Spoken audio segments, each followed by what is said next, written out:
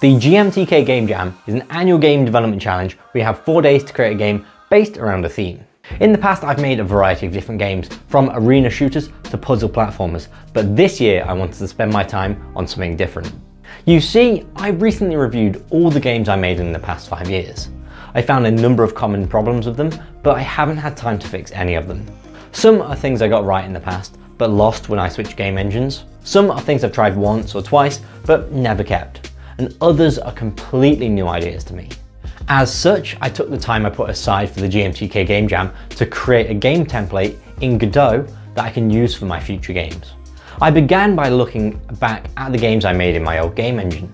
They had a common set of menus that gave them a welcoming and friendly experience. I lost this when I switched to Godot. Every game I've made since has had an inconsistent experience, so that's the first thing I wanted to fix. Starting with the basics, pausing a game level. I made a level scene with some junk which enables and disables its processing when the P button is pressed. When the level is paused, a pause scene is shown.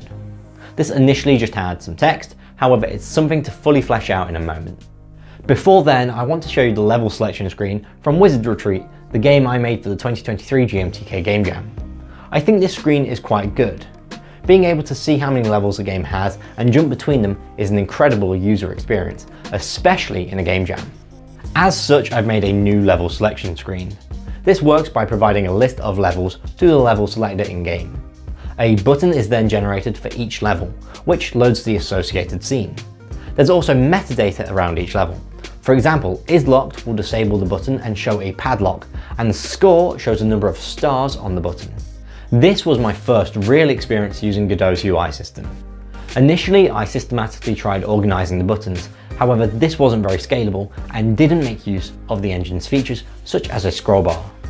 As such, I placed buttons into Godot's containers, which took charge of all the positioning.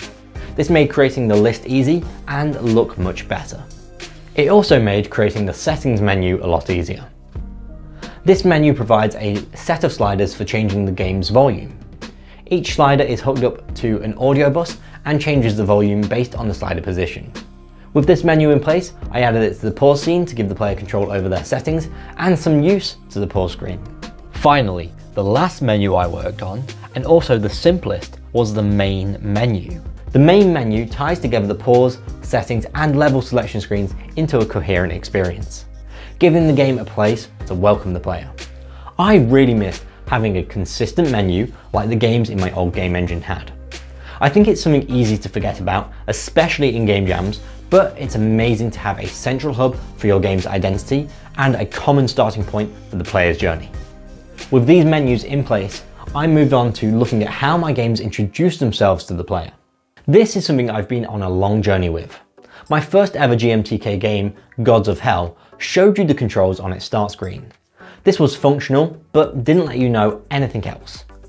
Later on, I introduced an instruction screen, which evolved over a number of games. This peaked in Super Word Chain, my entry into the Chain Letter Jam. This instruction screen tells you the controls and objectives with accompanying animated images. It looks really nice and helps you understand what to do, but it's easy to avoid and to forget when you start the game. This brings me back to the 2023 GMTK Game Jam and Wizard Retreat. This was the first game I tried to create a tutorial for. This is essentially the easiest level, with static text placed around to explain what everything does. Again, this is functional, but I found players struggled to remember the information because it wasn't very engaging. Finally, this brings me on to last year's GMTK Game Jam and the tutorial I created for Shrinker's Workshop. This tutorial was made up of a list of hints that dynamically appear based on your actions. This was significantly more engaging however still had limitations such as getting the hints to appear in the right position and getting the player to see them. To continue my work on a tutorial system, I first needed a basic player controller and camera following them. I then created an off-screen hint pointer. This is a UI element that can point the player in the direction of an off-screen hint. Once the hint appears, the pointer hides itself. Next, I created an area where actions can be performed. When the player is in the area, it will listen for an action to be completed, such as pressing a button. If no action is provided, then it will automatically complete when the player enters the area. These can be combined together to create an advanced hint, pointing the player to an area of interest where they must perform an action. Next, I added a UI element that would appear next to a button. When the button is pressed, the element hides. This can be used to create an on-screen hint to introduce UI to the player. Finally, I combined these in-game and on-screen hints with last year's tutorial system. This creates a convincing dynamic tutorial which can be used to introduce the player to controls, UI and the world. The last thing I did in the jam was an art pass because it all looked awful and I wanted to know how easy it would be to run a game through the template.